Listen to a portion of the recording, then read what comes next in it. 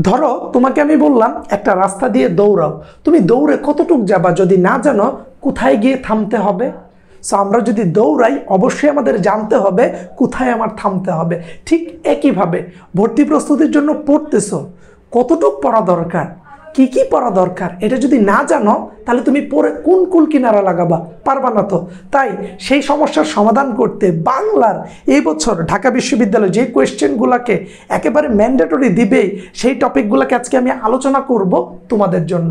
এই টপিকগুলো যদি পড়ো, তোমার ঢাকা বিশ্ববিদ্যালয়ের বাংলা প্রশ্ন কমন পড়ার সম্ভাবনা প্রায় নাইনটি পার্সেন্ট কথাগুলোকে আমি আন্দাজে বলছি না, আমি অবশ্যই স্ট্যাটিস্টিকের উপরে বেসড করে বলছি যেগুলা বিগত বছরগুলোতে এসেছিল।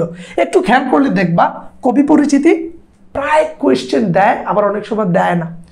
লেখক পরিচিতি, মাঝে মধ্যে দেয়, আবার দেয় না। সো ঢাকা ইউনিভার্সিটির জন্য এটা ততটাও গুরুত্বপূর্ণ না বাট চট্টগ্রাম বিশ্ববিদ্যালয় থেকে বা চট্টগ্রাম বিশ্ববিদ্যালয়ে পরীক্ষা দিলে এইখান থেকে কোয়েশ্চেন আসে। তাহলে দেখো, আমি কিন্তু জানি কোন জায়গায় দেয়, কোন জায়গায় দেয় না।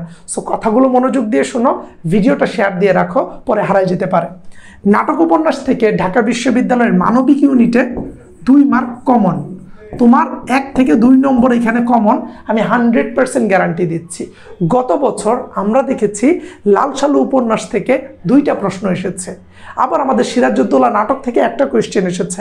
তার মানে গত বছর তিনটা প্রশ্নই ছিল নাটক উপন্যাস থেকে বি ইউনিটে তারপরে দেখো, বাংলা গদ্য, পদ্য। বাংলা গদ্য, পদ্যে যারা মানবিকে ভর্তি পরীক্ষা দিবে, তাদের কমপক্ষে ছয় থেকে সাতটা কোয়েশ্চেন হবে। এবং বাংলা গদ্য, পদ্যে যারা ব্যবসায় শিক্ষা শাখা থেকে পরীক্ষা দিবে, তাদের কমপক্ষে পাঁচ থেকে ছয়টা কোয়েশ্চেন হবে। কি বানায় বলতেছি? না, বিগত পাঁচ বছরের প্রশ্ন দেখো না। এই প্যাটার্নেই তো হচ্ছে, গেল এটা। তারপর দেখো, এক কথায় প্রকাশ, বাগধারা, সমার্থক শব্দ। এই যে তিনটা আইটেম দিলাম, এছাড়াও তুমি একটু পরের পেজে গেলে পাবা, বিপরীত শব্দ। এগুলা থেকে কোয়েশ্চেন থাকে। তাহলে এগুলা থেকে কমপক্ষে দুই থেকে তিনটা কোয়েশ্চেন থাকে। তাহলে তুমি যদি একটু খেয়াল করে দেখো, আমাদের বিরোচন অংশ থেকে যদি তিনটা কোয়েশ্চেন থাকে, তাহলে আমাদের এই জায়গায় দশটা প্রশ্ন হয়ে যাচ্ছে। আমাদের এইখানে যদি পাঁচটা কোয়েশ্চেন আমরা ধরি হচ্ছে গদ্যপদ্য থেকে, আর তিনটা কোয়েশ্চেন যদি আমরা ধরি বিরোচন থেকে, তাহলে পাঁচ, তিন, আট হয়ে যাচ্ছে। বারোটা এমসিকিউ হলে আর বাকি চারটা প্রশ্ন আসবে আমাদের মূল ব্যাকরণ থেকে। এখন প্রশ্ন হচ্ছে ব্যাকরণের কোন কোন আইটেমগুলো থেকে দিবে? একটু আলোচনা করে দেই। বানান হান্ড্রেড পার্সেন্ট একটা কোয়েশ্চেন পাবা। না পাইলে এসে আমার ধরবা। হান্ড্রেড পার্সেন্ট আসলো না কেন? বর্ণ থেকে বি ইউনিটে হান্ড্রেড পার্সেন্ট দিবে। গতবার দিয়েছিল তারঞ্জার ধ্বনি কোনটা? এবার দিতে পারে পার্শ্বিক কোনটা, ঘুষ অঘুষ কোনটা, নাসিক্য কোনটা, পরশ্রায়ী কোনটা, একেবারে ভালো করে নোট করে রাখবা। তারপরে দেখো, শব্দ থেকে দিতে পারে মৌলিক কোনটা? যৌগিক কোনটা? সাধিত কোনটা? আরবি কোনটা? মেক্সিকান কোনটা? ফার্সি কোনটা? ফরাসি কোনটা? এগুলো থেকে প্রায়শই কোয়েশ্চেন আসে। অনেক শব্দ, মনে থাকে না। পড়ার টেকনিকটা কি ভাইয়া? দেখো, আমি যদি তোমার সাথে পড়ার টেকনিকটা নিয়ে কথা বলি, সেটা হচ্ছে শুরুতেই বিগত বছরে আসা সকল প্রশ্ন পড়ে নিবা, তোমার আত্মবিশ্বাস বেড়ে যাবে। এবং নাইনটি পার্সেন্ট পসিবিলিটি আছে বিগত বছরের প্রশ্নগুলো থেকে দিয়ে দেওয়ার। বিভিন্ন জব মার্কেটে যে কোয়েশ্চেনগুলো আসে বিসিএসে পাবলিক ইউনিভার্সিটিতে ওগুলোই কিন্তু রিপিট করছে। ব্যাকরণের আলোচ্য বিষয়, দেখবা আসতেও পারে না আসতে পারে, বিরক্তি শব্দ আসতেও পারে না আসতে পারে, ধ্বনি পরিবর্তন সেভেন্টি পার্সেন্ট অর্থাৎ আসতেও পারে না আসতেও পারার মধ্যে সেভেন্টি পার্সেন্ট গুরুত্ব পায় এইটা। বচন সেম আসতেও পারে, নাও আসতে পারে। এগুলো ফিফটি ফিফটি অর্থাৎ ফিফটি ফিফটি মানে তোমাকে পড়তে হবে। বিরক্তি ফিফটি ফিফটি পড়তে হবে। কিন্তু ধ্বনি পরিবর্তন কোনটা বিষমী ভবন? একটা কোয়েশ্চেন প্রায়শই এইখান থেকে দেয় সমীভবন কোনটা ঠিক আছে? বিপ্রকর্ষের উদাহরণ কি? এই যে এই জিনিসগুলো, অসমীকরণ কি? এইগুলো যখন তুমি পড়বা, তখন তোমার জন্য কিন্তু ইজি হয়ে যাবে। সো এইটা একটু বুঝে বুঝে পড়বা। তারপরে দেখো আমাদের জন্য কি কি আছে। ওই যে বিপরীত শব্দ, পারিভাষিক শব্দ, প্রবাদ, প্রবচন, এইগুলা। আর এই যে এখানে ছিল আমাদের তিনটা। এরা কিন্তু প্রায় কাছাকাছি। এগুলো থেকে আমরা বলেছি যে দুই থেকে তিনটা প্রশ্ন দিবে। শব্দের শ্রেণি বিভাগ, সেটা শব্দের মধ্যেই পড়ে। দেখে নিবা যেটা বলেছিলাম মৌলিক, যৌগিক, সাধিত। তারপরে দেখো, পদ প্রকরণ, বাক্য প্রকরণ, প্রশ্ন আসার সম্ভাবনা খুবই বেশি। কারণ আমরা দেখি যে জটিল বাক্য, সরল বাক্য, যৌগিক বাক্য দেখি কোয়েশ্চেন করে, পদ থেকে মাঝে মধ্যে বলে যে কোনটা বিশেষের বিশেষায়সন তারপর হচ্ছে তোমার বিশেষ্যের ক্রিয়া বুঝায় কোনটা, রকেট অতি দ্রুতে চলে পিজুলুসে বাতি জ্বলে মিটির মিটির। তাহলে এই যে, এই জিনিসগুলা, যে যত ভালো করে জানবে, সে তত ভালো করতে পারবে। তারপরে দেখো যতি ও ছেদ চিহ্ন দেখবা, পদাশ্রিত নির্দেশকটা দেখে রাখবা, এগুলো থেকে আসতে পারে। উপসর্গ খুবই গুরুত্বপূর্ণ। হান্ড্রেড পার্সেন্ট, সমাস ফিফটি ফিফটি, সমাস কিন্তু ফিফটি ফিফটি।